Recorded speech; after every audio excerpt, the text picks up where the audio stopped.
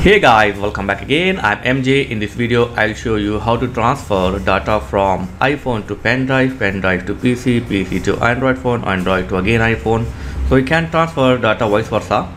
So first you need to buy this type of pen drive.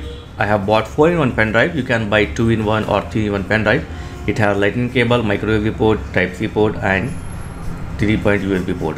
So first attach this pen drive to your iPhone. And when you first time attach it will ask to install the app.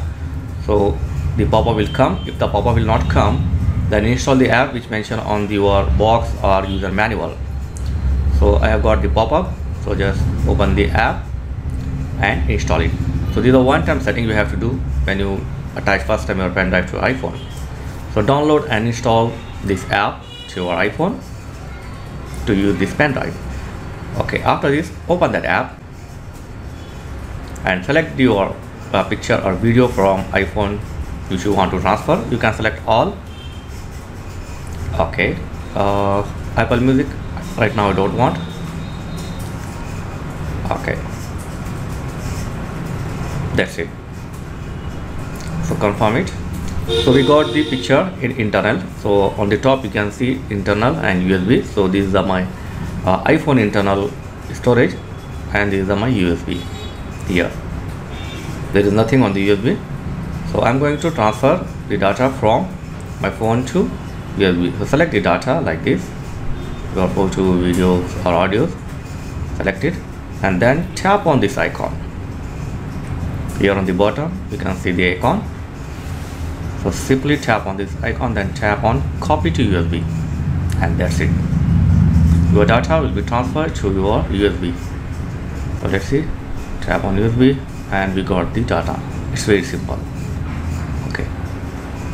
Now i'm going to use this pen drive to my laptop and i will transfer the my laptop data to my iphone.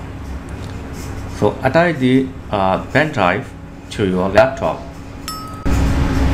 Okay now go to the usb pen drive in your pc yep so here it will show your all data from pen drive. So easily you can transfer this data to your uh, pc or you can transfer data from pc to your iphone. So just copy your pc data and paste or transfer to your pen drive. Okay that's it. Now remove the pen drive from your pc and attach to the your iphone. Like this and allow the pen drive. Okay confirm it. That's it.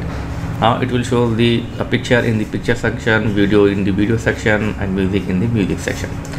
So uh, I have transferred videos and picture and audio. So now simply select the data from USB and tap on this icon and then tap on copy to photos simple.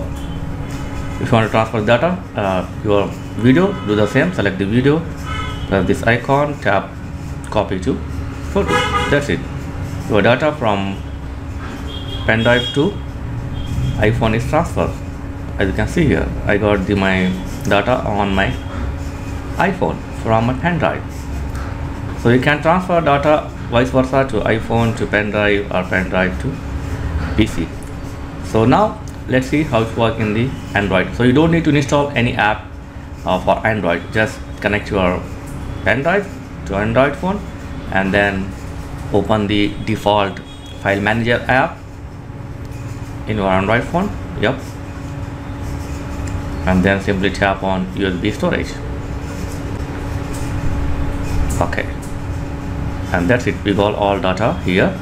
So you can transfer the data to your android phone. As well as you can transfer your android data to your pen drive. So is a 4 in pen drive. I bought it. You can uh, buy 2 in 1 or 3 in 1 pen drive and you can use it. So this is a simple way to transfer data from iphone to other devices. So thanks for watching guys. Catch you next video. Please like share and subscribe. Thank you very much